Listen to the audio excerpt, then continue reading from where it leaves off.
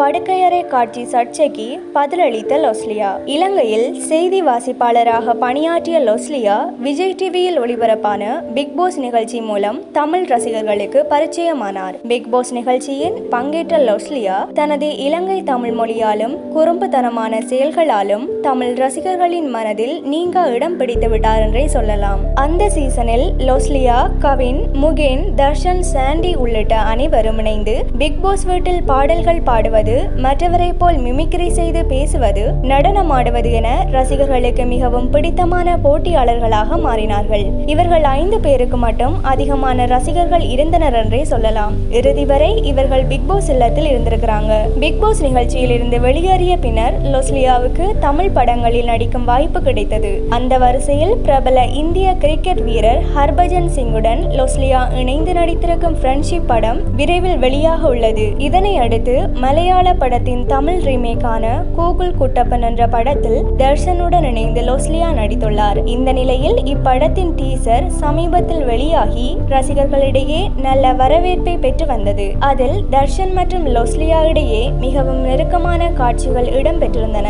இதனை பார்த்த சிலர் பிக்பாஸ் இல்லத்தில் அண்ணன் தங்கையாக பழகி வந்த நிலையில் தர்ஷனுடன் இது போன்ற காட்சிகளில் எப்படி நடிக்க முடிந்தது என லொஸ்லியாவிடம் கேள்வி எழுப்பி வந்தனர். மேலும் லொஸ்லியா மற்றும் தர்ஷனின் படுக்கையறை காட்சிகளை வைத்து பல்வேறு சர்ச்சைகள் எழுந்து வந்த நிலையில் நடிகை லொஸ்லியா முற்றுப்புள்ளி வைத்துள்ளார். தங்கள் இருவரும் மீதான சர்ச்சைகளுக்கு முற்றுப்புள்ளி வைக்கும் விதமாக சமீபத்தில் பேட்டியொன்றில் பேசிய லொஸ்லியா தர்ஷன் எனக்கு அண்ணன் மாதிரி. படத்தில் வரும் ரொமான்டிக் காட்சிகள் வெறும் நடிப்பு மட்டுமே. யாரும் சீரியஸாக எடுத்துக்கொள்ள வேண்டாம். ஒரு படத்தை படமாக மட்டும் பாருங்கள். நிஜ வாழ்க்கையில் ஒப்பிடாதீர்கள். அந்த காட்சி எடுக்கப்பட்ட போது நாங்கள் இருவரும் சிரித்து கொண்டே செம தான் எழுத்து முடித்தோம். இது வெறும் நடிப்பு மட்டுமே என கூறியுள்ளார். இது பற்றிய உங்களது கருத்துக்களை கீழே இருக்கிற கமெண்ட்ஸ் பாக்ஸில் கமெண்ட் பண்ணுங்க. அது கூடவே மறக்காம எங்க சினிமோட் மீடியா சேனலை சப்ஸ்கிரைப் பண்ணிவிடுங்க.